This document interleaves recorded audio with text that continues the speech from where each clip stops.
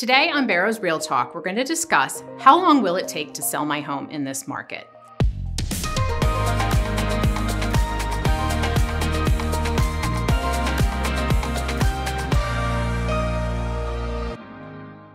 The answer is it will take about one day to one week to sell your home in this market here at the Delaware beaches if it's priced right and ready to go as far as staging and showing really beautifully.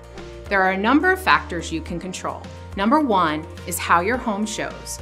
If, is it light, bright, decluttered, staged, ready to go? That's number one. Number two is how your home is priced. Pricing is still key, even in this hot market. Buyers want to see some value. If one buyer sees value, usually multiple will, and that leads to a bidding war, which is the best possible scenario for you as a seller because you're going to get the most for your home with that situation with the best terms for you possible. It is a perfect storm when it comes to that. The third part that affects the value of your home and how fast it will sell is location. Neither you nor I can control that unless you bought the home through me because if you did, I promise you we would have the location discussion when you were looking to buy the home.